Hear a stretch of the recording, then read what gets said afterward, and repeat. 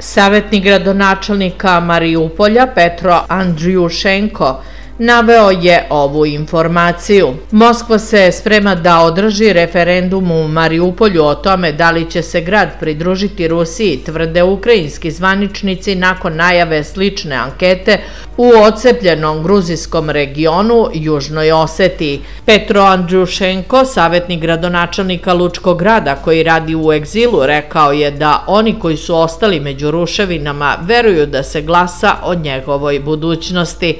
Ruševine koje su ostale od Mariupolja, nekada doma za 400.000 ljudi, uglavnom su okupirane od strane Rusije, iako se čak 2000 ukrajinskih vojnika drži u Čeličani Azovstalj i suočeni su sa svakodnevnim granatiranjem, piše Guardian.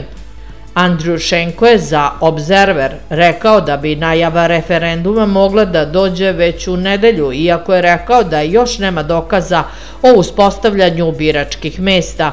On je u subotu istakao imamo neke informacije da ruske vlasti pripremaju referendum i da bi ga čak mogle raspisati sutra, ali još ne znamo da li je to slučaj ali vidim dosta integracije Mariupolja u ruskim sistemu, obrazovni sistem, bankovni sistem. Lider Južne Osetije Antoli Bibilov najavio je u petak da će održati referendum o pridruživanju Rusiji 17. jula, tvrdeći da se vraćamo kući i navodeći istorijsku težnju njegovog naroda da se pridruži Rusiji.